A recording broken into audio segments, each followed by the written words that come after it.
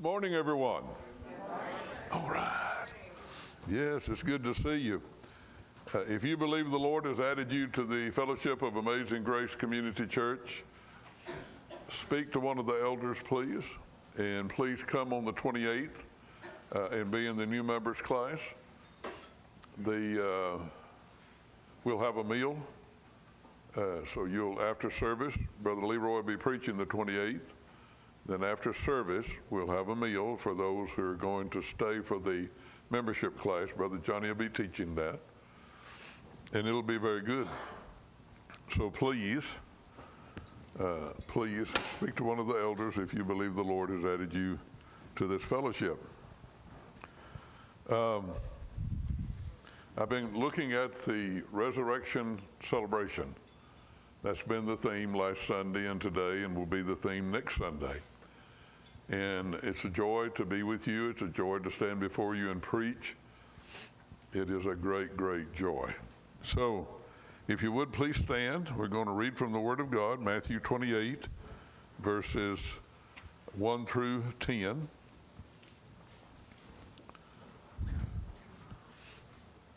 Now, after the Sabbath, near the dawn of the first day of the week, Mary Magdalene and the other Mary went to look at the tomb.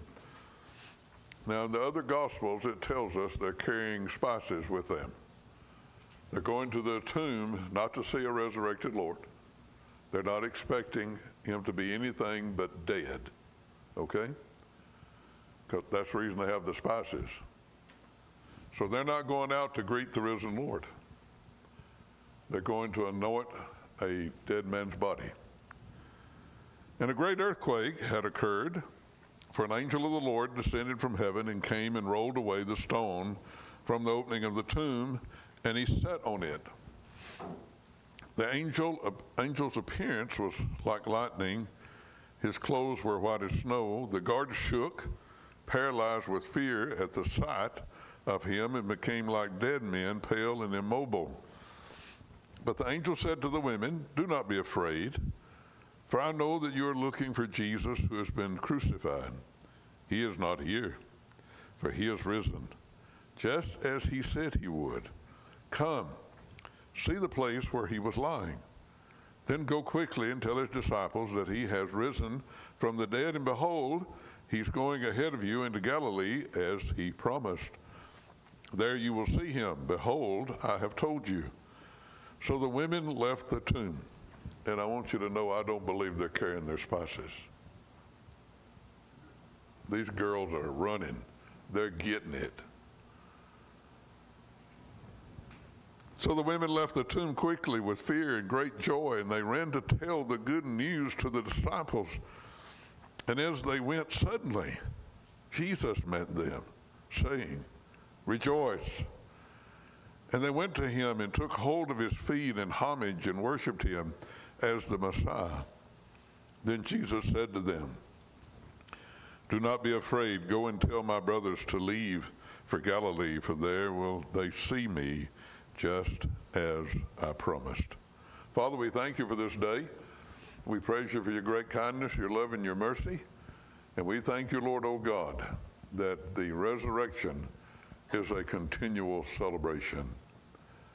And we thank you, Lord, oh God, that we would be just like Mary and Mary Magdalene and the other Mary and all the other disciples. Nobody was waiting on, at that tomb on Sunday morning. You told them you would rise from the dead on the third day, but they're not out there. Nobody's out there, Lord, except the guards.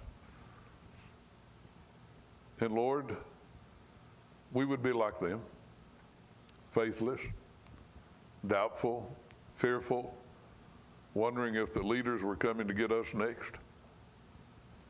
But Lord, you met them. You met them suddenly. And you told them, you commanded them to rejoice.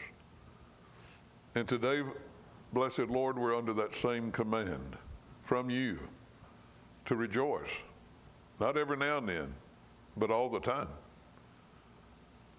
because our Lord and our Savior has risen from the dead. Our Lord and our Savior is at the right hand of God. our Lord and our Savior is coming to receive us unto himself, that where he is, there we may be also. And so, Lord, we thank you. Now speak to us this morning, Lord, through your word for your glory. And we praise you, Lord, in Jesus' name. Amen. You may be seated. Well, the, the Easter signs are gone. We talked about that. The Easter signs are gone. Uh, I put up those signs, and two or three times I like to fell over the ditch. the Lord is so kind. You know, I'm out there and, and, and and and I put my right foot in the wrong place, and I'm you know I'm starting over in that ditch, and that would be quite a scene if you're driving by to see Pastor Harold. I roll really good. I've got a good roll, but anyway, I don't bounce anymore.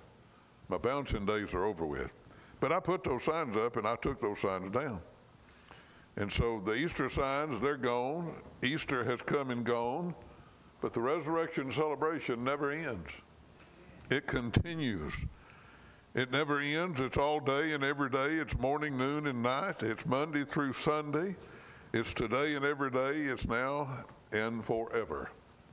Now and forever. I want you to notice three times in these 10 verses the two Marys were told to remember. You listening? Jesus says to us today here in this place, remember. Three times in 10 verses. Verse 5 But the angel said to the women, Do not be afraid. For I know that you're looking for Jesus who had been crucified. He is not here, for he is risen. Notice, just as he said he would. You've already been told that this would happen, girls. He has risen just as he said he would. Verse number seven, the angel again. Then go quickly and tell his disciples that he is risen from the dead, and behold, he's going ahead of you into Galilee as he promised. He had already told them that he would rise from the dead and he would meet them in Galilee. He told them that. Girls, remember, remember, then in verse 10, and Jesus said to them, to the girls, Mary Magdalene and the other Mary, Do not be afraid and go tell my disciples to leave for Galilee, and there they will see me just as I promised. Girl, you, you remember now, don't you? So the angel twice said he's going to do it just as he said. And then uh, the Lord Jesus himself said, just as I promised. So, three times in 10 verses, we are told to remember. They were told to remember, and you and I are told to remember. Why? Because we are so prone to forget. Now, I'm, as I'm getting older, my proneness of forgetting is increasing. Any of y'all experiencing that? Yeah? Somebody said, Well, what, what was that a while ago? I said, That, that was a while ago you know? But listen to this, this. The children of Israel saw the miracle of God parting the Red Sea. I mean, can you, I mean, they're standing there. Moses sticks out that staff and God parts that sea and they walk across that, that, that, that sea floor on dry ground. Can you imagine the walls of water on both sides and they're walking through the sea? And to get to the other side, here comes Pharaoh, uh, his army, and they go into the into the middle of the sea, and the Lord just puts the water back down. I mean, what would you be doing? What would I be doing? I mean, we, they were rejoicing. They were having a big time. They were worshiping the Lord on the other side. Not only were they delivered, but their enemies were destroyed. And three days later, three days, not three months, three years, three days later, they're complaining and murmuring, belly aching. If you've been doing any of that lately, I want you to know the Lord God hates it. He despises murmuring, complaining, and belly aching. because each, each of those say he's not doing right. He doesn't know best. It's an insult to him. But we naturally have that ability to do those three things.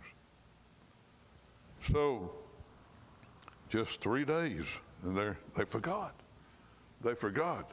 In Matthew 16, the disciples hear Jesus say the leaven of the Pharisees, and they got to talking to one another. Did you bring any bread? No, I didn't bring. Did you bring it? No, I didn't bring. We didn't bring any bread. He's talking about the fact that we don't have bread. And Jesus knew what they were thinking and talking among themselves. And he said, You have so little faith. You're concerned about bread. Don't you remember the 5,000 and the five loaves? And how many basketfuls you took up? Or don't you remember the 4,000 and the seven loaves and how many baskets you took up? You have so little faith. They had forgotten. Here it is. They're walking with the Lord of glory, the King of kings, the Son of the living God. God Himself walking in a man's body on this earth, and they forgot. They forgot. In Revelation chapter 2, the church at Ephesus had forgotten also. Wow. They'd forgotten and forsaken their first love of Jesus. He said in verse 5 of Revelation 2, Remember therefore. What's he saying? What's he saying? Remember. Remember. You forgot. He's saying, Remember therefore from where you have fallen, repent and do the, the works you did at first. If not, I will come to you and remove your lampstand from its place unless you repent. They've forgotten. Now, he, he commended them, but then he condemned them because they had forgotten. Brothers and sisters, have we forgotten? Have we forgotten? Our forgetfulness is so bad. Are you listening? Our forgetfulness is so bad that the Lord instituted the Lord's Supper, and one of the reasons He instituted the Lord's Supper was that you and I would remember. When we celebrate the Lord's Supper, it's so we will remember. Listen to the Word of God. 1 Corinthians chapter 11, verse 23.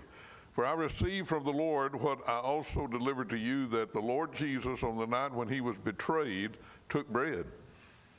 And when he had given thanks, he broke it and said, This is my body, which is for you. Do this in what? Come on, I can't hear you in remembrance of me. When you take this bread, you remember me. Remember me. The implication is we really are apt at forgetting him. Okay?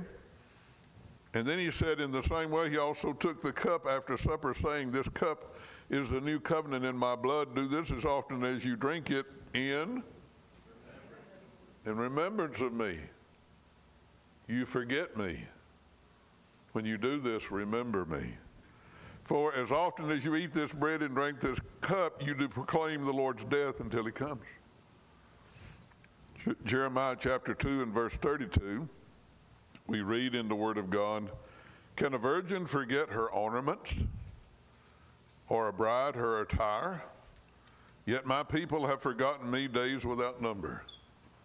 This is the Lord saying, My people have forgotten me days without number. He said it's almost uncountable. If it wasn't for the fact that I'm the Lord of glory, it's just like with, it's almost unmeasurable. They've forgotten me so many days. And then in James chapter 1, verse 23 through, through 25, but be doers of the word and not hearers only, deceiving yourselves. For if anyone is a hearer of the word and not a doer, he is like a man who looks intently at his natural face in a mirror. Did you do that this morning? I walk into the bathroom, I turn to that mirror and I go, ah! You know, Debbie calls it my, she, she'll tell me, she said, You're up. I have to get my fuzz down, you know? Looks like two little horns. She says that really is picturesque, you know, two little horns over here. But anyways, you, I look in the mirror and it's, it's frightening. But he said, he, he, James said, this man looks intently and had his natural face in the mirror, for he looks at himself and goes away and at once, at once, forgets what he was like. But, mark this one here, verse 25. But, the one who looks into the perfect law, the law of liberty, that's into the Word of God. Are you listening? The one who looks into the law of God, the law of liberty, the perfect law, and perseveres in looking into the Word of God, the perfect law, being no hearer who forgets, but a doer who acts, he will be blessed in his doing. And the blessing is you don't forget. You don't forget. It kills forgetfulness. When your Bible's got dust on it, you have forgotten him many days. When you know nothing about a time of prayer, you have forgotten him many, many days. You can't rejoice because you don't remember, because you have forgotten. You with me? The hymn by Robert Robinson says, Prone to wonder, Lord, I feel it, prone to leave the God I love. Here's my heart, Lord, take and seal it. Seal it for thy courts above. That's what we need to be saying to the Lord.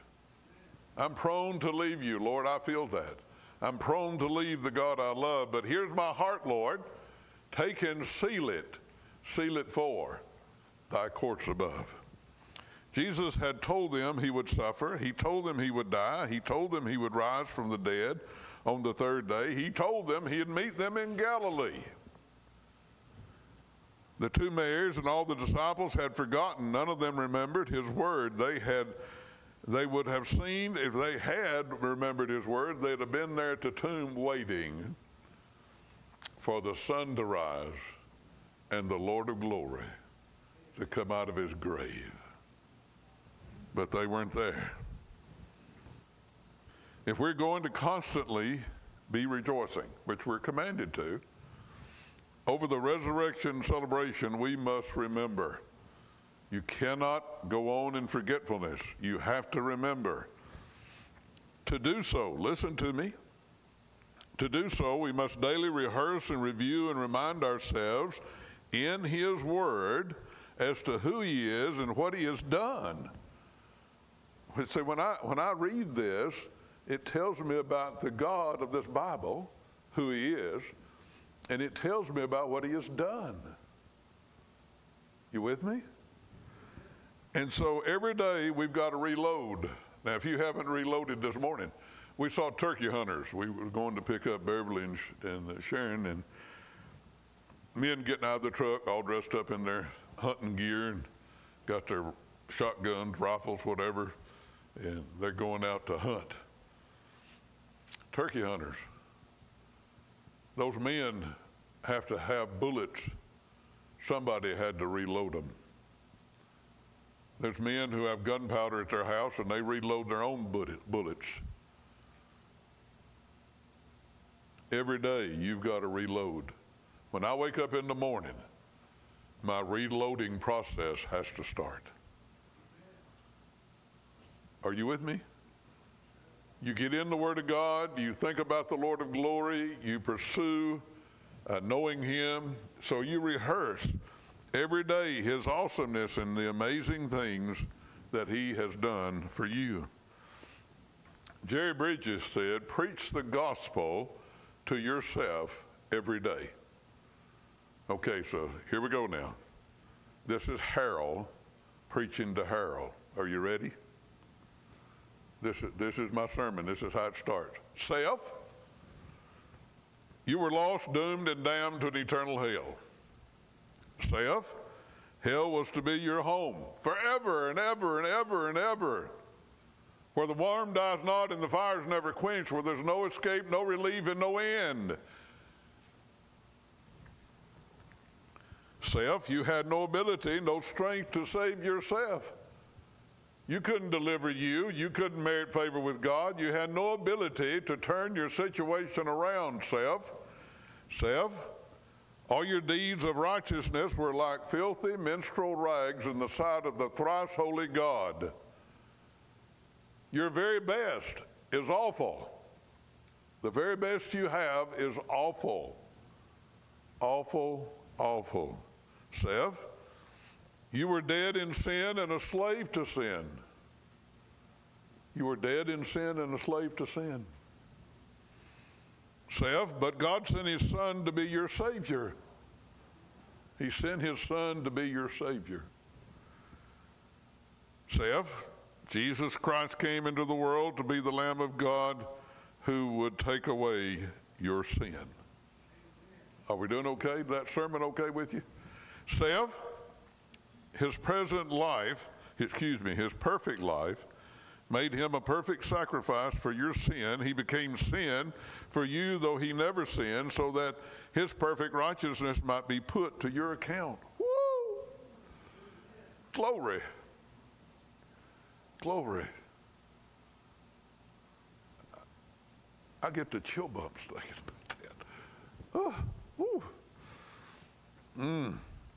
Self, you turn from your sin and trust in him and he will you will be justified by your faith and will you will have peace with God. Wow. Turn from your sin, self, trust in him who loved you and died for you, and you will be justified, meaning that God will treat you just as if you never sinned. Never ever. You bring up sin, the Father says, What sin are you talking about? What sin are you talking about? I punished that sin. I removed that sin in my son. Sev, you shall never perish, never, neither shall can anything or anyone pluck you out of the hand of your Almighty God. Wow. When he does it, he does it. He does it completely. He does it eternally. It's not my hold on him, it's his hold on me. Dear ones, please, we, we, we can't hold on. We will never hold on. Never, ever, ever. But he will never let go. He will never let go. Seth, Seth, he dwells in every believer. He dwells in you by his Holy Spirit. Seth, his Holy Spirit transforms every believer little by little into the very character of the Lord Jesus Christ. Sev, and he that started this great work, he will complete it. He will, he will not stop. He will finish it. He will complete it, even unto the day of his coming. Sev, when we see him, we will be like him, for we will see him as he is. Hmm. Seth, he has gone to heaven to prepare a place for you, and he's coming again to receive you unto himself, that where he is, there you may be also, Seth. Wow. Seth, right now, right now, Seth, you are a child of God, but it does not yet appear what you shall be like but when he appears, you shall be like him because you will see him as he is. Self, therefore, purify yourself. That's what we need to be doing. We need to be remembering and rejoicing, never forgetting. Remember, yes, remember. Do you recognize this map over here? That's the map of the continent of Africa. And over here on the other side is uh, one of the British explorers. There were several of them. And they're in the jungle and they're explore, exploring new species that they know nothing about and new uh, plants that they know nothing about. Well, they come out of the jungle and on a, a open area, but on the edge, other edge of this open area is a cliff. And it's hundreds of feet down to jagged rocks and water flowing below. And, but when they peek over the edge of the cliff, about 100 feet down on a ledge, there's a flower they have never seen before. Don't know what it is. And they want that flower. Well, this, this little boy comes out of the jungle. And they motion for him to come. And so they go over to the edge and they point down, and he looks over those, those men, they're standing back sort of.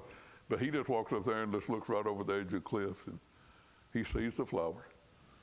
They take a rope and tie it around one of their, them of themselves, one of the, the explorers, and they show him what they want to do to him. And so they take the rope off and they're going to hand it to him, and he takes off running back into the jungle. And these men are greatly disappointed because they thought, here's our hope of getting that flower. And he's gone. A little while later, they heard a noise in the jungle again. And here comes a little boy with a grown man. And the two of them walk up to the explorers, and the grown man is so repulsive to look at. His face is scarred all over. Any area of his body that's exposed to them is scarred. Great scars, big scars. The little boy grabs the rope. He puts it around his waist, ties it. He goes over to the cliff, and the man with the scars lets him down. 100 feet down he goes. He scoops up this exquisite flower, and the man pulls him back up.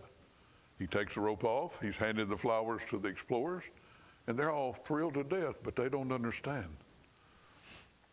They're grown men. There were several of them. They're more they're stronger than the man that came back with the boy. But they don't understand. You see, a few weeks ago, or a few months back rather, the chief of the village said, Don't go outside of the village compound because the lions are on the prowl. Well, the little boy disobeyed. He didn't do what he was told. And he went outside the compound of the village, and uh, all of a sudden, in the village, they heard a scream. And it was that boy. And this man heard that scream. He grabbed his spear and he took off running. The little boy is running on a path, and the lion is behind him, and the lion is gaining ground. And the little boy goes over this knoll in the path, and that lion jumps in the air with claws, all claws out, mouth wide open. He's going to get his prey. And this man stepped in between. And while the lion was in the air, he shoved his spear into the lion's chest. But the lion didn't die until he mauled and clawed and bit that man. That man was that boy's older brother.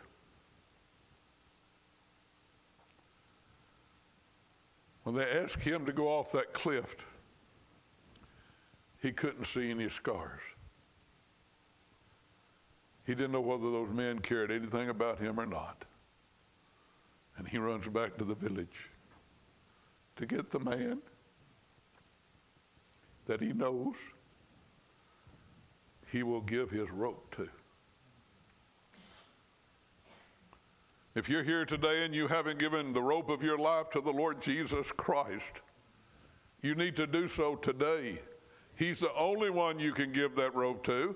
He's the only one who can hold you and protect you. He is the only one who can save you. He's the man with the scars. They didn't know, but it was because of the scars that little boy would trust his life into the hands of that man. What's the little boy doing? He's teaching us You see, every day, every day, this little boy was given a great gift. He saw the scars. And when he saw the scars, he remembered and he rejoiced. And when you and I see the scars, and we can't see the scars if we don't look for them. We can't see the scars if we don't search for them. We can't see the scars if we're not passionate about seeing them. We will not see them.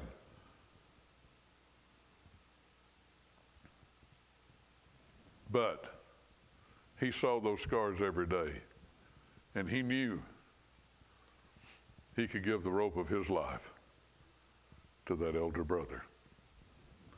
And you can give the rope of your life to the Lord Jesus Christ.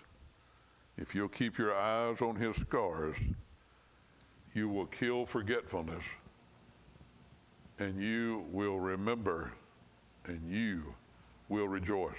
When you're not rejoicing, it's because you've forgotten. When you're not rejoicing, it's because you have forgotten. Because if you remember, you can't help but rejoice. You can't help it. I tell somebody, I, I got the can't help it. I got the can't help it. When you remember you can't help it, you're going to rejoice. You're going to sing. You're going to praise. You're going to give glory to God because you remember the scars. You remember those scars. Have you looked at them today? Have you looked at him today? The shame he suffered left its brand in great big wounds in either hand. Since penalty he designed to meet did tear and scar his blessed feet. The condemnation by him borne marred his brow with print of thorn. Trespasses of guilt for which he died left him with a riven side. But mine, mine was the shame and the penalty. The sins were mine, it was for me. He felt the nails, the thorns, the spear. For love of me those scars appear in hands and feet, and side and brow, beholding them I can but bow myself a living sacrifice for him who paid so dear a price. You'll never forget if you remember the scars. And you can prove whether you're remembering by saying, Am I rejoicing? Answer that question. Am I rejoicing? Am I rejoicing? Well, things are going wrong, Brother Harold. This and that and the other's not going right. I've got this problem, I've got that problem. He is still the risen Lord of glory no matter what we've got. And we need to rejoice in Him. In Him. These things will soon pass away. Our light affliction, which is just for a moment, works for us a far more exceeding and eternal weight of glory. It's just for a moment. Oh, it hurts. I go next Thursday. That doctor tells me to, now you look over here. and I'm thinking, I want to look right at you. I, I hit people that hurt my eye. but I, I look over here and he's and uh, and I'm looking this way and he shoots me over the, this way, and uh, I don't like it at all. But I want you to know, I can sit in that chair and rejoice because Jesus is risen, and I'm not going to forget. God help us not to forget. Look at the scars. Father, we thank you, Lord, for this day. Praise you for your great kindness, your love, and your mercy. Thank you, Lord, for the privilege of being together.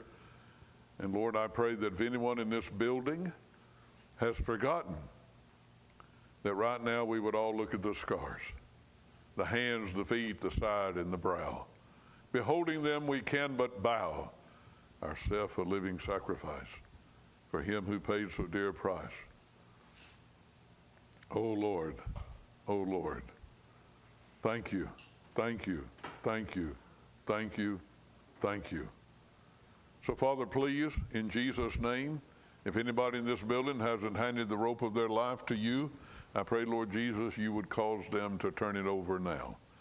You'd move upon them by your Spirit, and they would gladly hand the rope of their life to you because they can trust the man with the scars. And we praise you, Lord, and pray in Jesus' name. Amen.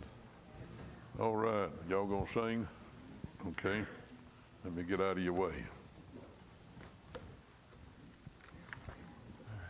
Y'all please stand and uh, we'll sing My